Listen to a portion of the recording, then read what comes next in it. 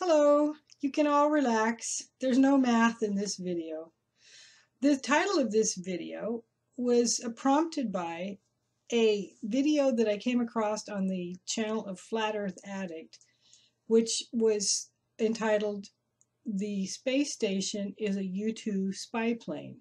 Hey, hello there people. Joseph here. We're going to take a look at the theory of the International Space Station. Now, I absolutely had to make this video tonight. It's not an experiment, but I just thought to myself, hang on a second, this is unbelievable, this picture that I've just recently seen of the ISS, because I was only speaking in my last video about how it notoriously looks like a, a B, uh, not a B2, a U2 spy plane. And my goodness me, you've really got to take a look at this picture. I mean, really. I mean, look at this. That just looks strangely like a U2, doesn't it? And it's not the only picture either, because look at this one. This one also looks like a U2. Now imagine if you had add-ons on the bottom of that U2. From a distance, it could look like that maybe there's some sort of image projection device that's underneath it, you know, to give illusions of the solar panels. And obviously, you know, we can look at the sheer size of this aircraft, you know, in, in several shots. I'll just stick a couple up there so you can see them. And it kind of got me thinking, I thought, NASA, they probably use the U-2 spy plane. And then, I couldn't believe it. I could not believe this. I came across this. Look at that. How about that for a smoking gun? Um, I mean, really. Check it out. It says it quite clearly on, on the side of the tin. NASA. So they, they use the U-2 spy planes, and, and these things, you know, they they travel thousands of miles per hour, and they also go to heights of sort of, I think the record is about just above 80,000 feet. And um, here's a pic of, of one flying, you know, through some sort of binocular. So was that a U-2 spy plane with a big NASA logo on it? Not exactly. I did a little bit of research on the internet and here's what I found. The Lockheed ER-2 aircraft or Earth Research 2 aircraft is a later development of the U-2 spy plane, which was specifically developed for NASA. It has an operating altitude of up to 70,000 feet, similar to the U-2 spy plane, and a similar takeoff weight of 32,000 pounds or more. And it's designated as a high altitude airborne science aircraft or a flying laboratory.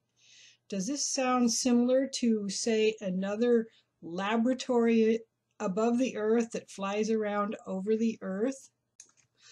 All of the information and specifications I mentioned previously, as well as the ones I'm about to discuss, I found on the NASA website for this aircraft, which I will include in the, uh, the links below the video.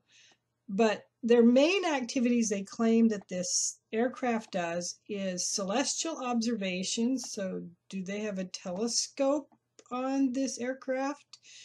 Atmospheric chemistry and dynamics, oceanic processes, and it also has four pressurized compartments that can be used uh, for any quote-unquote experiment.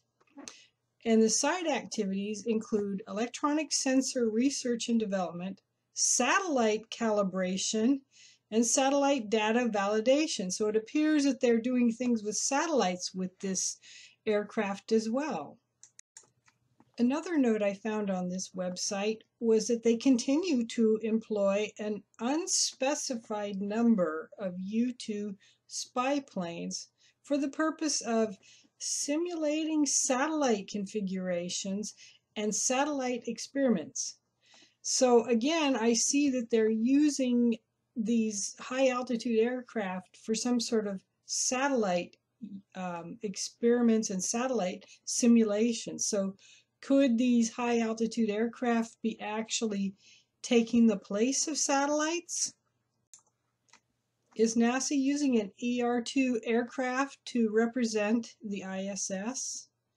If you look at the photo of the supposed ISS, you could see how since the aircraft would be appear larger than the ISS because it's closer to the ground than the ISS would be and you could use uh, various lighting banks uh, to make it more apparent, apparent uh, various uh, mock-ups on the outside of it that could be deployed once it reaches very high altitude because the atmospheric drag would be very low up there.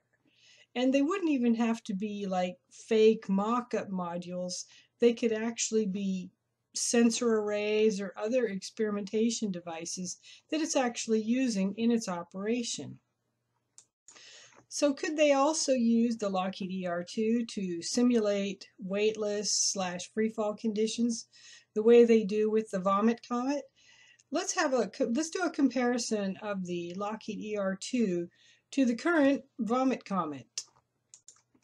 The previous model that NASA used to simulate weightless or free fall conditions was the KC-135A aircraft. That's now been retired and it is now replaced with a Boeing 727-200F. This is their freight model.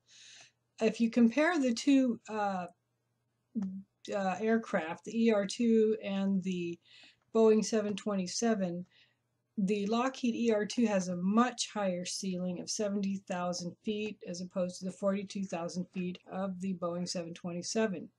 However, the cabin width of the Lockheed ER2, which can only be estimated at about 8 feet, the, the Boeing 727 has a much wider cabin width. So there's a lot more play in simulating a ISS interior.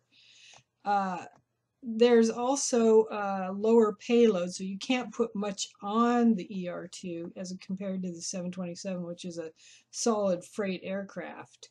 But the max range of the ER2 is 3,000 nautical miles as opposed to 1,700 nautical miles on the Boeing 727, so it has a much larger range. So if you took the four interior compartments of the Lockheed ER2 and strung them all together into one compartment. And then perhaps rather than trying to create the interior of the ISS, rather just simply green screen the entire interior of those four compartments, you could actually just fill in the interior after uh, you finish video, doing the video of the weightless conditions. So why go to the trouble of building a whole green screen and having to do computer generated imaging for the interior of the ISS?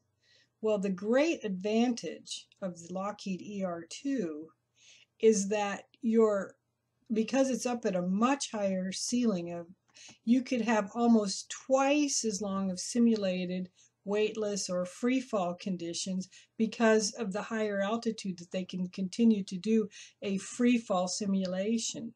The drop could go much, much longer than with the uh, Boeing 727 Vomit Comet. And also another thing I thought of is that another way that it could simulate the ISS is because it's taking all kinds of photographs and video of the earth as it goes over it, these videos could simply be fed back and stitched in to the imaging for the ISS uh, live feed.